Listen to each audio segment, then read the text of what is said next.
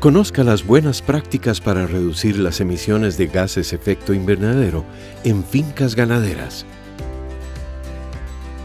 La ganadería es una actividad económica que contribuye al desarrollo rural, así como la seguridad alimentaria. La generación de empleo en áreas rurales y brinda servicios ambientales. Sin embargo, su modelo de producción tradicional contribuye al cambio climático al emitir gases de efecto invernadero, como el metano, proveniente de los procesos digestivos de las vacas, el óxido nitroso del estiércol y la fertilización, y el dióxido de carbono del uso de combustibles fósiles y energía eléctrica. Estudios del CATIE evidencian que en Centroamérica las emisiones en fincas ganaderas se distribuyen de la siguiente manera. Fermentación entérica del 75 al 88%. Manejo del estiércol del 2 al 10%. Fertilización de 1 a 8%. Combustibles fósiles y leña de 5 a 8%.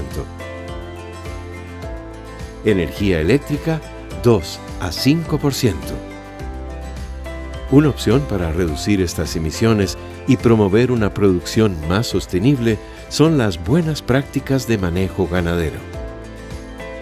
Estas prácticas se pueden resumir en cuatro acciones. 1 división y rotación de potreros en asocio con sistemas silvopastoriles para mejorar el manejo de pastos e incrementar la cantidad de árboles en la finca. 2.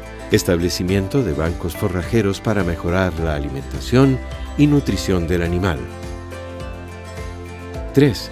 Uso de ensilajes y bloques nutricionales para suplementar al ganado durante la época crítica de alimentación. 4. Establecimiento de biodigestores para el manejo de residuos y evitar la contaminación. La integración de estas prácticas ayudará a reducir las emisiones de gases efecto invernadero. Esto permitirá aumentar la productividad y rentabilidad de la finca, así como mejorar el bienestar de las familias ganaderas y los animales.